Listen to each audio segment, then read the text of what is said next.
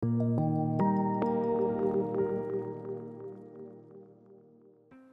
there, welcome to the Ultraspin video series.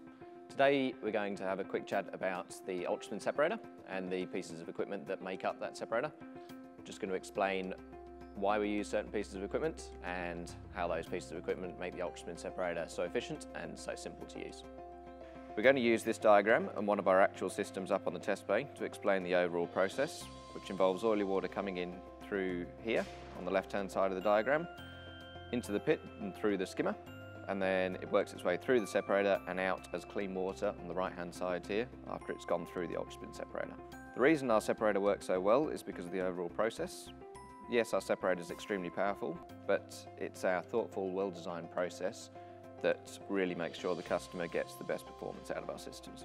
So here we have an Ultraspin electric cube up on our test bay. Um, we test every piece of equipment before it goes out just to make sure that there are no problems at all, everything's ironed out, and when you get it, it works perfectly.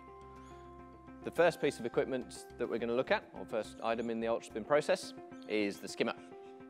It's designed to take a about a centimetre cut of oily water off the surface. Now obviously when oil's on the surface it's going to act like these bubbles that we can see here and it's going to float on the top. So as the skimmer starts up it will take all of those bubbles and they'll all get dragged into the skimmer. The skimmer serves a variety of purposes but one of the most important tasks it does is improve the quality of the water. It does this by skimming the oil off the surface which means you don't end up with really hard to treat dissolved oils and things like that in the wastewater. If you don't have a skimmer, you could also be susceptible to flooding, which is what's happened in this picture here. So we always use a skimmer with the Ultraspin process. From the skimmer, the water is drawn through our strainer basket. So this is what the basket looks like inside this little tank. It's the main maintenance point for the Ultraspin separator, and it's designed to collect things like earplugs and leaves um, and any large debris that you don't want to get through into the separator. From there we go through the low shear pump the reason we use low shear pumps is that they are nice and gentle on the oily water.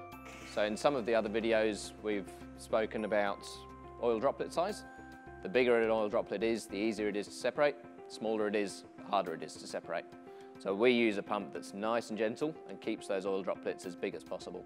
The pump is delivering the pressure that we need to run the Ultraspin separator. So this is one of the Ultraspin separator and it sits within that vessel. It doesn't move, it's just the force of the water moving within the separator that creates the separation that we need. The Ultraspin separator operates at more than a thousand times the force of gravity. So the water is ripping around inside and pulling the oil out. What we end up with is treated water coming out of this end and our separated oil stream coming out through this end of the separator, which is here. This separated oil stream collects in our oil collection and decant tank. The oil builds up on the top and periodically you get that pumped out by a, a maintenance company. And any water that's gone with it, we automatically decant that back to the start of the process where it can get retreated again. So the equipment that we've gone through today is the Ultraspin electric cube. So it's a simple, compact, skid-based um, system with an electric pump. It's able to run 24-7. We also have a couple of other systems that we offer. So on the same style of skid, we can do a pneumatic pump um, that's intrinsically safe, so no need to get an electric system with explosion rated motors. save yourself some money, get the pneumatic system instead. We also do our heavy duty range. So the heavy duty range is generally used in tough environments, so on mine sites and things like that, and for when we've got larger flows that we need to deal with. So you don't need to know exactly which piece of equipment that you're after, just give us a call and we can help you look at your application and work out which piece of equipment is going to work for you.